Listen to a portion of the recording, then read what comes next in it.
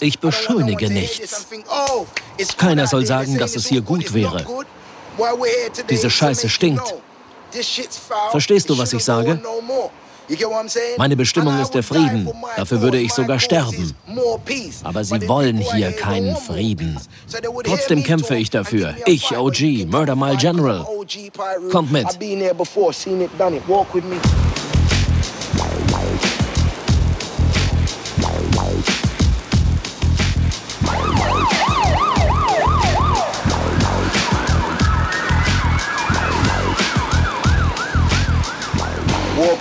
Folgt mir.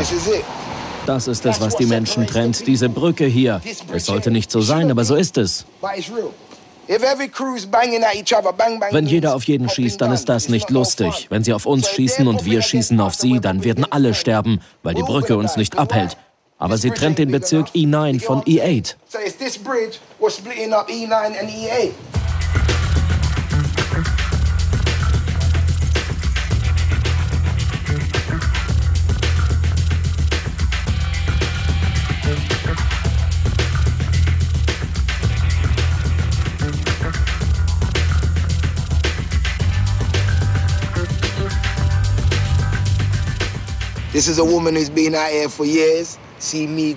Diese Frau kennt mich seit Jahren.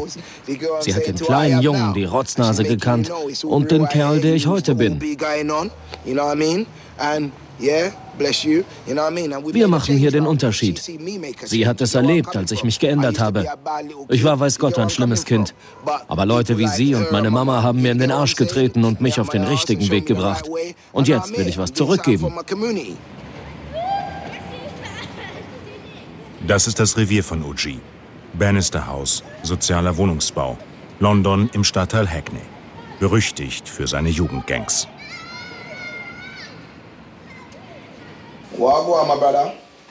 OG ist hier aufgewachsen, wenn er nicht im Knast war. Neun Jahre saß er wegen Hehlerei, Gewalt und Drogen. OG übrigens steht für Original Gangster, sein Gangname.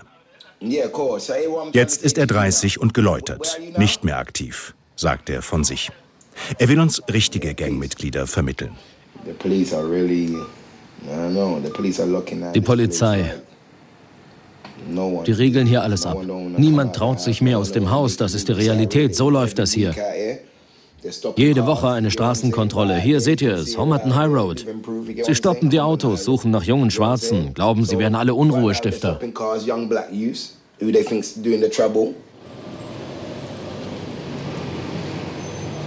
Wir schauen uns die Straßenkontrolle genauer an. Sie entpuppt sich als harmlose Verkehrsbefragung. Der Effekt ist der gleiche. Die Gangmitglieder verkriechen sich. Zum verabredeten Treffpunkt kommt keiner.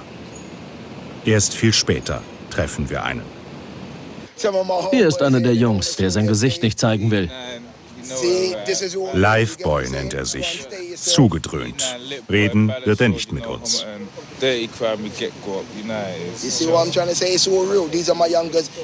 Das sind die Jungen. Sie haben jetzt das Sagen, versteht ihr? Ich kann nur mit ihnen reden. Wenn sie nicht hören wollen, kann ich auch nichts machen. Aber sie lieben mich und ich liebe sie. Jetzt kommen wir zur High Road. Die untere Mördermeile. Hier war es, vor zwei Monaten. Vor zwei Monaten eine Schießerei. Genau hier.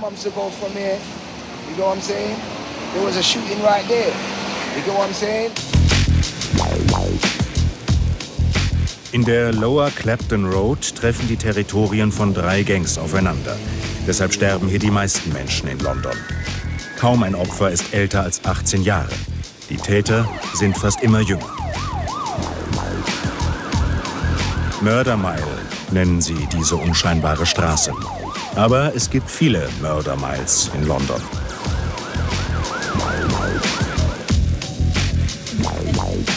London ist Gangland. Und Gangland ist die Welt dieser Jugendlichen.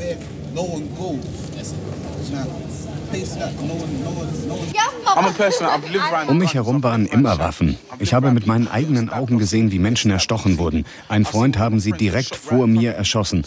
Ich habe keine Angst mehr. Trotzdem sind sie vorsichtig, wenn sie ihr Territorium verlassen. Nicht auffallen, die wichtigste Taktik. Vermummen, damit sie keiner erkennt. So sieht das dann aus. Und so von der Seite. Ist es nicht gefährlich, wenn ihr gar nichts mehr seht? Nein, du musst immer geradeaus schauen, den Kopf runter und geradeaus gucken. Und schnell gehen. Und so machst du es, wenn du im Bus bist. Wenn eine Gruppe einsteigt, schnell die Kapuze auf. Ja, du gehst weg, bevor dich einer erkennt. Ausgeraubt, erschossen, erstochen. Dafür gibt es viele Gründe. Wenn du jemanden falsch anschaust, bekommst du ein Problem. So sieht's aus. Das ist wirklich kein großes Ding. Als würde man immer gleich getötet werden. Es ist in Ordnung. Es hängt eben davon ab, von wo du bist.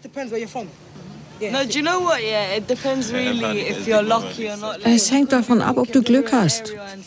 Du kannst 20 Jungs begegnen. Entweder tun sie dir was oder eben nicht. Es ist nicht so, dass immer etwas passiert. Aber wenn du an die gerätst, die nichts mit ihrem Leben anfangen können, dann ist es aus mit deinem Glück. Dann waren es die Falschen. Nur wenige haben eine Zukunft jenseits von Arbeitslosigkeit und Sozialamt. Knuckles nimmt uns in seine Gegend mit. Sozialer Wohnungsbau auch hier. Sein Gebiet, ein paar Straßen. Dann kommen die unsichtbaren Grenzen. Dahinter ist Feindesland. So funktioniert ganz London. Die Stadt ist aufgeteilt unter 180 Jugendbanden. Meist Einwanderer in der zweiten oder dritten Generation, überwiegend mit schwarzer Hautfarbe. Aber es gibt weiße Gangmitglieder. Wir treffen sie nachmittags gegen halb fünf. Eine unscheinbare Gruppe auf der Straße. Insgesamt soll die Gang 600 Mitglieder haben. Schulkinder gehören genauso dazu wie Schulschwänzer. Das ist ihre Familie. Hier lernen sie die Regeln der Straße. Wenn ich auf deine Schuhe trete, entschuldige ich mich sofort. Manche entschuldigen sich nicht. Und die haben dann allerdings ein riesiges Problem. Die Regeln sind streng. Wer sich nicht daran hält, der wird dazu gezwungen. Es geht um Hierarchie und um Ehre. Und es geht um Respekt, Anerkennung, die sie nur hier in ihrer Gang erfahren. Und dafür töten sie auch, wenn nötig. Im Jahr 2007 starben in London 26 Jugendliche durch Gangmitglieder. 2008 liegt die Zahl höher. Die meisten, die sterben, sind nicht unschuldig. Sie haben etwas getan. Du stirbst nicht unschuldig. Einer von einer Million vielleicht. Aber bei den meisten gibt es einen Grund, wenn du verstehst. Du hast dich mit den Falschen eingelassen, zum Beispiel mit der Polizei. Du darfst nicht mit der Polizei sprechen. Wenn du Illegales machst, dann machst du Illegales und redest nicht mit der Polizei. Du verrätst niemanden, verstehst du? Wechsel nicht die Seiten. Hier gibt es Leute, die haben keine Mutter, keinen Vater, sie haben kein Einkommen. Sie kennen nur die Straße. Ich sage nicht, dass das gut ist, aber so ist es. Das ist ihre Art zu überleben.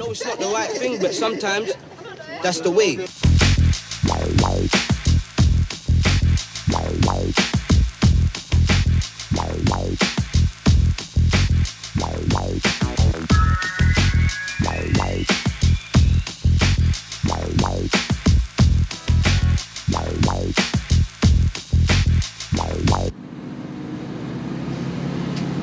Vor einem halben Jahr war Kieran Teil der Gangwelt. Jetzt versucht er ihr den Rücken zu kehren.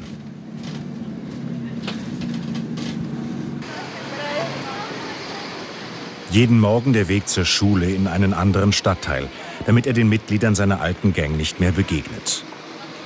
Von ihnen war er ausgeraubt worden. Das hatte Kieran die Augen geöffnet. That's right. Be Sie alle hier sitzen wieder in der Schule. Wie Kieran, ehemalige notorische Schulschwänzer, Jugendliche.